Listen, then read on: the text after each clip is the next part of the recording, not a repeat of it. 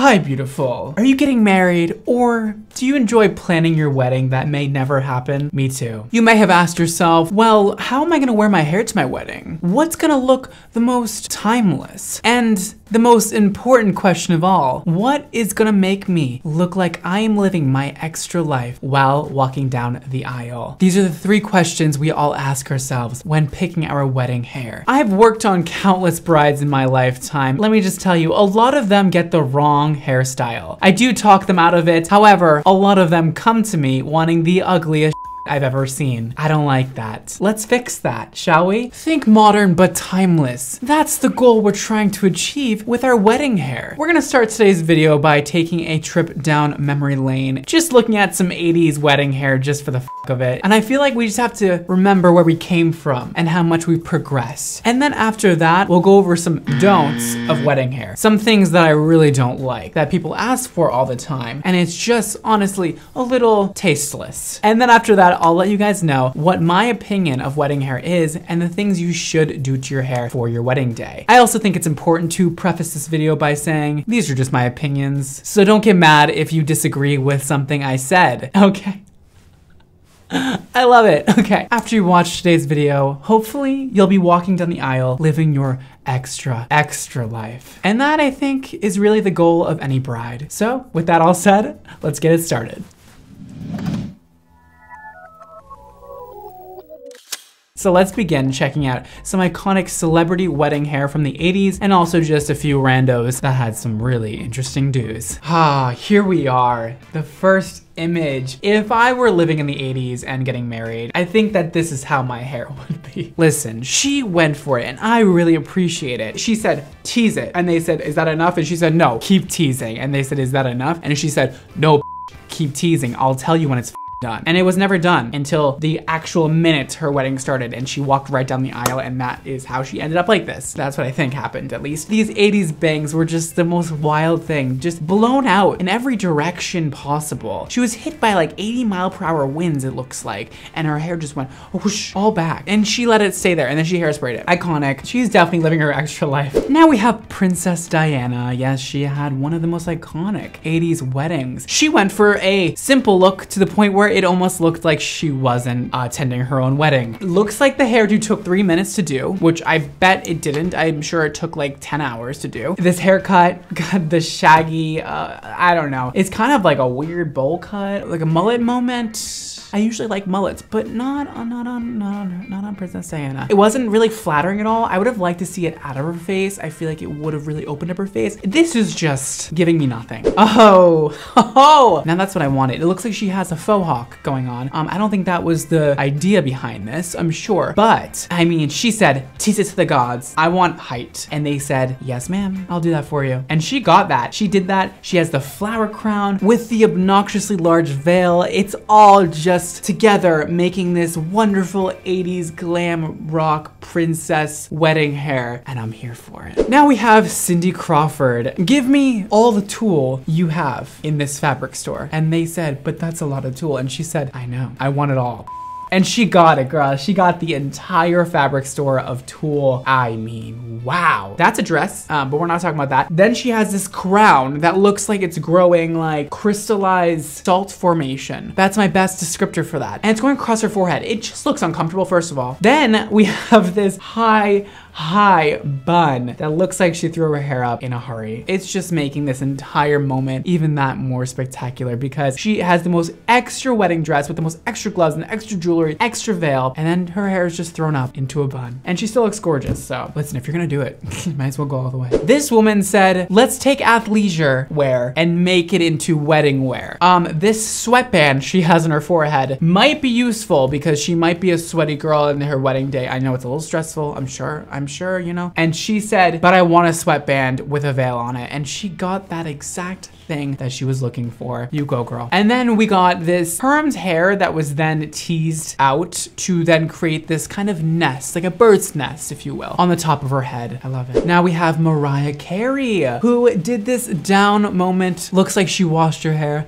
put a little curling serum in, and then walked out of the door, which knowing Mariah Carey was not the case. I'm sure it took several hours to do this hair and it was a flop. I mean, it doesn't look good. It doesn't. I don't really have much to say about it because it's just holy that dress is crazy. Oh my god, that flower arrangement. Yep, that's Mariah Carey. That's what I expected from her. It looks like she's trying on the dress for the first time and she didn't do her hair and she's just trying it on, doing a fitting, and then she ended up walking down the aisle that day um, and getting married. I don't know. It just looks like they didn't do her hair. I don't know. This wedding party is looking like poodles. They look like poodles. I am not saying poodles are ugly by any means. I would never. But let's focus on the bride. The bride has this updo with this Snooki Jersey Shore poof with the bun. I actually enjoy that it's off her face. I think that it actually looks quite elegant in that sense. However, it looks like a nest in the damn back of her head. Again, another bird's nest. I feel like on your wedding day, bird's nests should not be there. But I actually think she looks kind of like the most put together out of everybody we've talked about so far. I like that little choker she has on with her beautiful decolletage out. Quite elegant. And actually, what the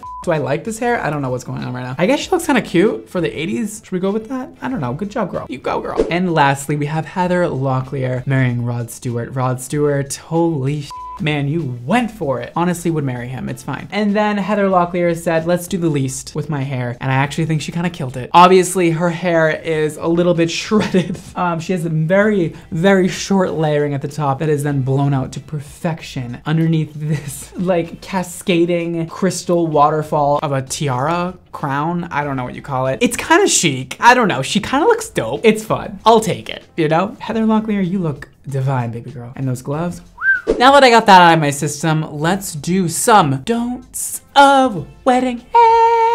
Don't do this with your hair when getting married. Let's do the don'ts. One of my favorite don'ts is braids, especially fishtail braids. Let's keep the fish in the water, babe. Let's not bring him into our hair. It doesn't look right. I don't know what it is about fishtail braids. There are some things you can wear fishtail braids to. It's festivals. But if you're a grown-ass woman wearing a fishtail braid, I don't know. For some reason, I'm judging you. But also, again, live your extra life, meaning do whatever the want that makes you happy. But fishtail braids, braids in general for weddings, it just looks like farmhouse vibes. I don't know, it's just weird to me. Here's a couple of images of braids that I hate. We have this crown, fishtail crown. It's kind of like it cute when you first look at it, you know, it's like, oh my God, so fun. But then, you know, she's gonna look back on this in 10, 20 years and be like, what the you let me do that to myself? Like, it just doesn't look timeless or elegant in any which way. It just looks like you are stuck as a 12 year old girl. Like, you had this imagination of getting married when you were 12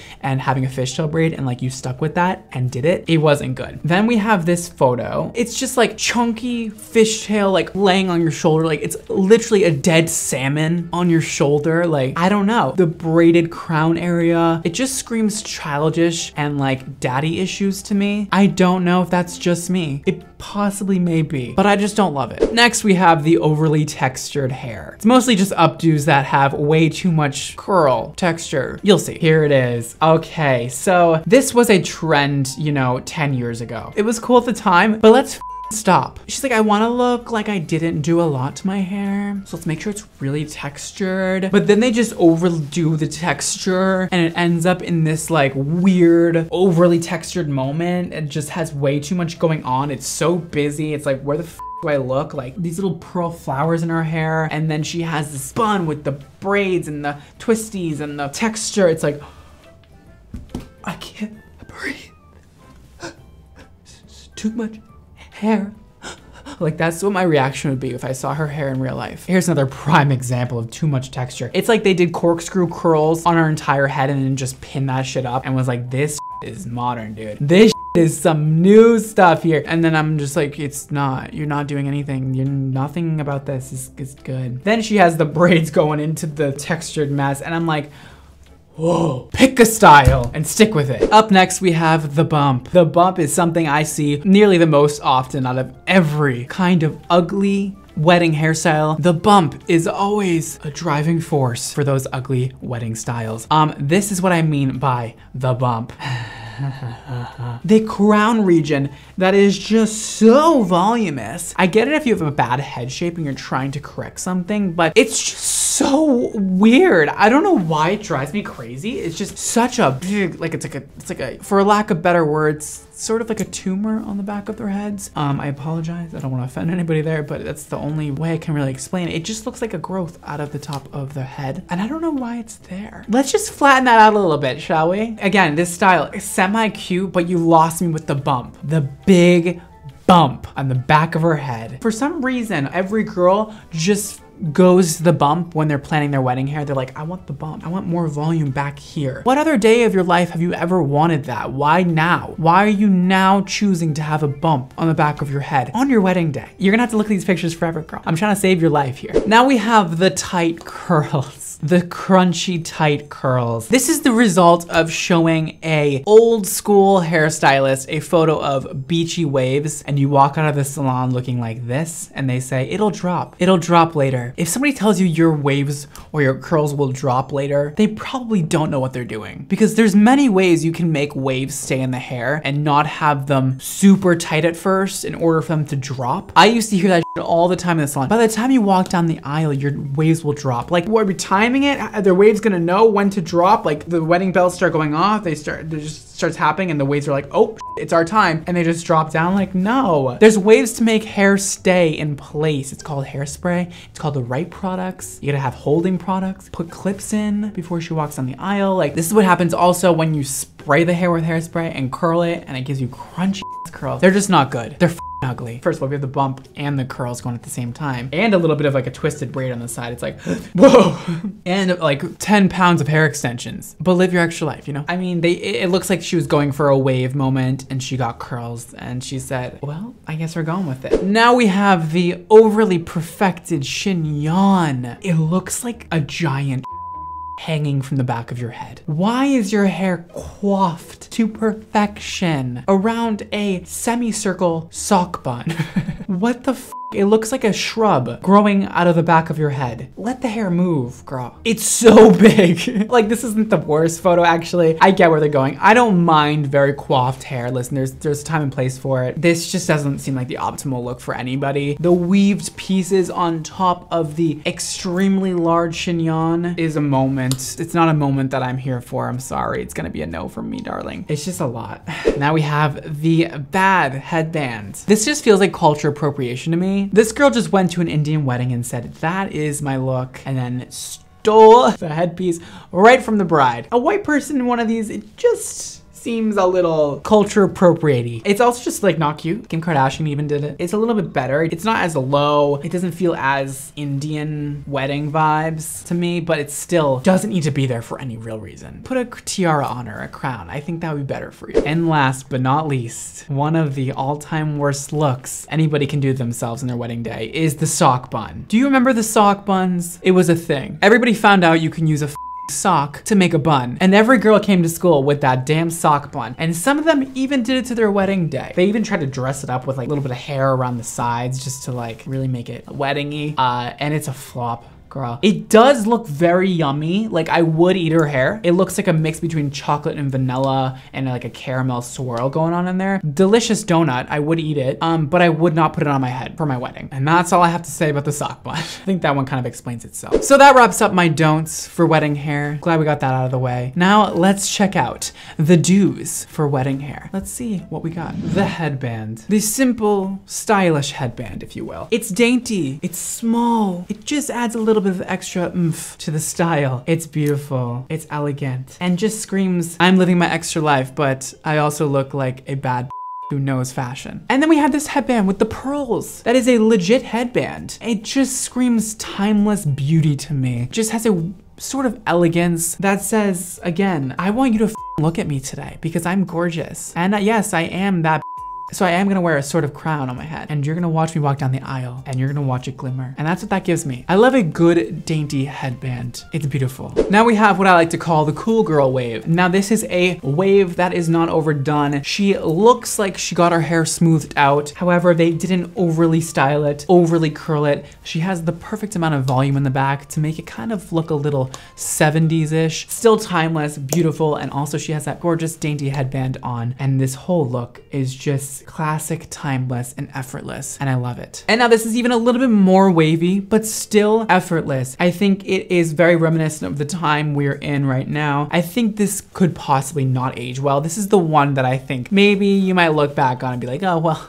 I look like I rolled out of bed. But it is very modern and I think the less is more approach is elegant. The headband I think is important for this look because the look is so plain and simple. I think you need to dress up just a tiny bit with something you wouldn't regularly wear, which is the crystal headband or the pearl headband or a little tiara, you know?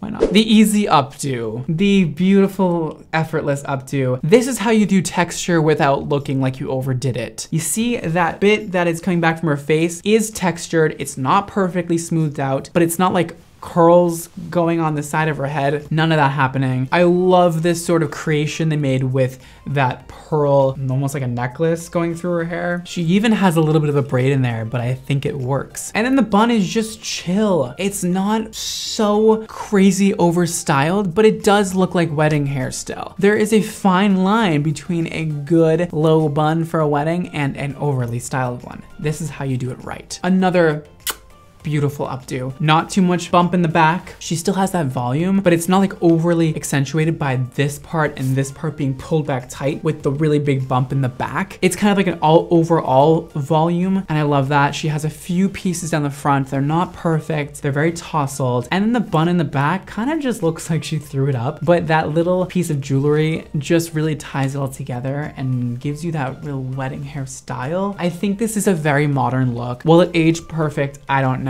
but I do think it is great for the time. Sometimes it's okay to dress for the times. I think we can all agree that sometimes when you look back at wedding photos, who the cares if it's like ridiculous? At least, you know, it was of the time period. And I think that is what's going on in this look. I think it does look a little disheveled, but I appreciate it. And I think it's a well done, disheveled, low updo. Now we have the chignon, uh, uh, uh however, done well. And a modern type of chignon. This is still elegant. It's still very pulled back and tight and there's not a lot of messiness going on, but it's modern. It feels new. It is still very wrapped. It still looks like a small little turd on the back of her head. The most beautiful turd I've ever seen, you know?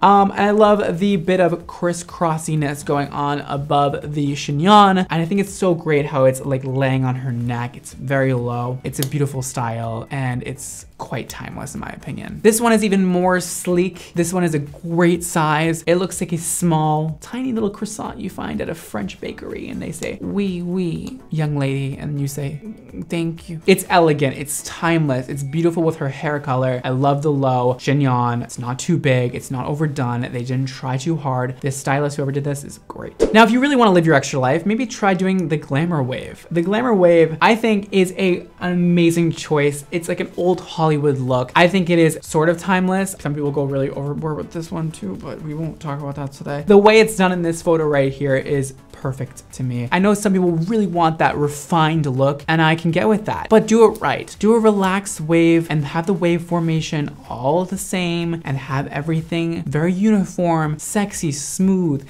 silky, shiny, and that's how you do a wave correctly for a wedding. Here is a more tousled version of the glamour wave, but still very much a glamour wave. Um, she has a beautiful amount of body in her hair. I really do like the one side tucked behind the ear, and then she has that really wavy look on both sides of her head, and I think this is just great. I love her hair length. It works perfectly with the dress, and yeah, she can always put one side behind her shoulder and change up the look a little bit, but it's beautiful, and I think it's perfect for the look that she's going for. Now we have the low ponytail. I actually really dig a ponytail. Ponytails are great too because you can really slick back your head and give yourself a facelift with them. High ponies, probably not. You're gonna look like you're at a workout class, but a low pony, it looks special. Add a little bit of texture and a little bit of wave to that. I love the way she has this jewelry in her hair with the little wrap around and it's a very thick ponytail, almost a little bit too thick. I think it's good for her. And I think it looks elegant and classy while still having a down up do. I think it's great for this dress she picked it's showing her decolletage, but maybe she didn't want all the hair off of her shoulders, so she chose an in-between, and I think it's perfect, and this is how you do a great low ponytail. Another great low ponytail, this one's a tiny bit higher. Still think it's great. I like the way they overlapped the hair and a little crisscross pattern. Did a soft wave on the ponytail. There's not a heavy amount of extensions in her hair that makes her hair look heavy and like lifeless. Perfect amount of volume in her crown area. And lastly, let's talk about the easygoing bun. This looks like her hair was thrown up, but in the most gorgeous way. You know those days where you throw up your hair and you look in the mirror and you're like, how the did I just do that? Like, why can't I do that every single day of my life? Why is this the most perfect messy bun I've ever done to myself? That's this bun. Sitting at the perfect height where it isn't too low, it isn't too high. It's still very sleek, but messy. Really says I care, but not too much that I'm not a fun girl and I can't get down on the dance floor at my own wedding. You know? She looks like she can get down, she's gonna shake her ass a little bit, and she's gonna go home with her hubby and just, you know, pound it out. Those are my do's. I compiled that list to hopefully inspire you to make better choices on your wedding day. I'm just kidding. Those are just my opinions. Take it or leave it. You don't need to do everything I said, but those are my do's and I love all of those looks. Now that we've discovered all these beautiful, fabulous looks, what's the right look for you on your wedding day? Consider the dress's detail. Is there a lot going on up here? Are there beautiful straps you want to show off? Or do you just love your decolletage? Do you have the perfect shoulders? Do you want to put a lot of like shimmer on your shoulders? Do you want to show that off? Do you have jewelry? Maybe do a little chignon. Maybe do something a little bit more edgy, like a messy bun moment. Do you want to do a ponytail, but there's a lot of back detail? Maybe opt for a bun in that situation. Next, you want to choose hair that's gonna fit the theme. Are you having a very ritzy, ritzy wedding? Are you spending big bucks? Are you doing a quick on-the-go wedding? You're gonna do your own hair for it. Well, these are all different things you should look at. There's different complexities to each look. Maybe if you're gonna do your hair yourself, you do just a very loose beach wave or a very elegant messy bun. Those are pretty easy to do yourself at home and you can totally do it. I believe in you. Look up some tutorials or maybe you're doing top dollar spending all this money on your wedding and you have the best hairstylist. Well then see what they can do. Ask for their opinion. Maybe do a look that's a little more complicated like some glamour waves or the easygoing bun. What I'm saying is dress for the occasion even with your hair. If you want to be glam, be glam. If you want to be chill, be chill. My next tip is longer is not always better. And I'm talking about hair. Every girl says, I need to grow my hair out for the next two years before my wedding. First of all, there's extensions. You can just tape them in for the night. They look very natural. It's easy, it's cute. But I think having shorter hair for your wedding day is severely underrated. I think a lot of the time the hair is very overwhelming and heavy. It's all around just like a lot to look at and a lot to deal with and looks very uncomfortable. Shorter is sometimes better and less hair is sometimes better. Don't put too many extensions in your hair, please. Don't make it way down crazy and like, ah, I'm wearing two dead animals on my head. And one of my most important tips of all is to be you. Do what makes you happy. This is your day and your husband's day. Don't forget that. If one of the ugly hairstyles would make you happy, go for it. This is not my wedding. These are just my opinions. Whatever makes you smile, what makes you glow on the outside is all that really matters. So they opinions and I got your back and I might roast you for it, but at least you were happy. So if you're wondering now, Brad, what would you wear for your wedding day? How would you do your hair? Well, I'm glad you asked, I know. If I was a female with longer hair, I feel like I would just be like bohemian beach waves. I wanna look like I didn't try. That's the vibe I would go for. All right, that is all for it today, guys. Don't forget to follow me on all the social media networks, including Instagram, TikTok, and Twitter at BradMondo NYC. You can also find my Facebook page and my Snapchat show under Brad Mondo. And I mean, to have beautiful, amazing, fabulous hair on your wedding day, you need beautiful, fabulous, amazing products. And I got your back. You can shop Xmondo Hair, linked below. Go for it have some fun, do a little shopping. Let me know what you got. You can also follow Xmondo Hair on Instagram to stay up to date with new product launches happening all the damn time. And that is all for today, guys. Thank you so much for watching. Don't forget to live your extra life on your wedding day, and I'll see you next time. Bye, guys. This is Glitterati, our styling serum. Glitterati will deliver hold, shine, and lightweight hydration combined with the most beautiful touch of pink sparkle. Glitterati can be used on any hair type or texture. We've also added argan oil and chamomile extract to help strengthen your hair and just make it feel and look luxurious.